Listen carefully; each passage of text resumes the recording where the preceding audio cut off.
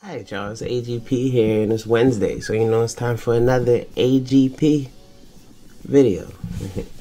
yeah. So, anyways, um, before I start this, I just wanted to thank y'all for getting me the 80 subs. Yes, I, I appreciate it. I really do. Y'all don't know how much. I know it's not a whole lot, but you know we're gonna keep growing, and then later on, you know, it'll be like 80,000 or something like that, and I'll be happy with that. But right now, let's just get to 100. Uh, so right now, Cyberpunk 2077 you can get on sale if you pre-order it on Amazon right now. It is just Amazon. If you go and you look to pre-order it on any other store, and I'll show you out here. It's still $65, but Amazon is $50. So, which, you know, plus tax is probably like 55 So it really will even out to about $10.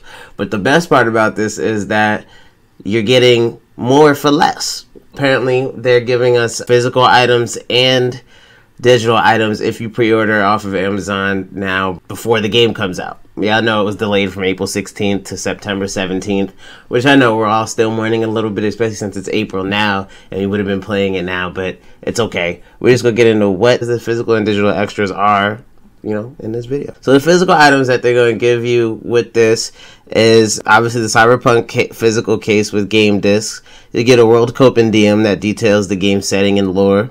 You'll get postcards from Night City, a map of Night City, and Cyberpunk 2077 stickers, which is cool. The digital things that you will get are the Cyberpunk 2077 game soundtrack, art booklet featuring selection of art from the game, Cyberpunk 2077 source book, and wallpapers for desktops and mobile. And here is a picture of all of the stuff that you get with this pre-order. So that is really all the stuff you get for fifty dollars if you pre-order off of Amazon. The physical copy, uh, it has to be the physical copy too, off of Amazon right now. I don't know how long this will be a thing. I don't know if they're supposed to keep this going from now until the game actually comes out. Sometimes people do sales for a little bit just to kind of get the sales to spike. Uh, the sales for the item to spike and then it goes back. So I don't know if it's a limited time or not. Now, the only question I have for this stuff though is just that because you guys know that the Cyberpunk 2077 will have versions for the PlayStation 5 and the Xbox Series X. The real question though with that is just me wondering does it like carry over? So I assume if you get the physical copy and you play it on the new systems, will you still get all the stuff? I'm sure you will. I'm not sure how they're gonna set it up, but yeah, that's all I really wanted to come tell y'all about Cyberpunk 2077 today.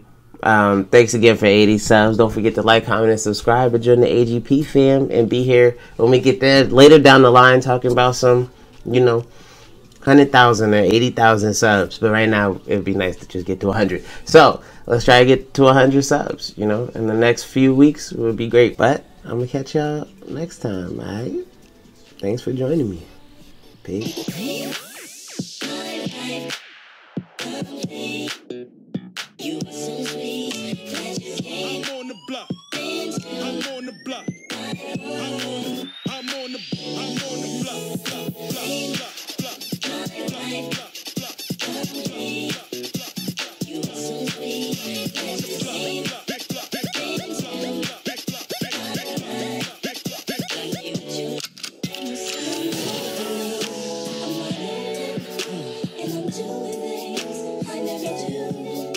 But I feel so good. I feel so good. What it takes.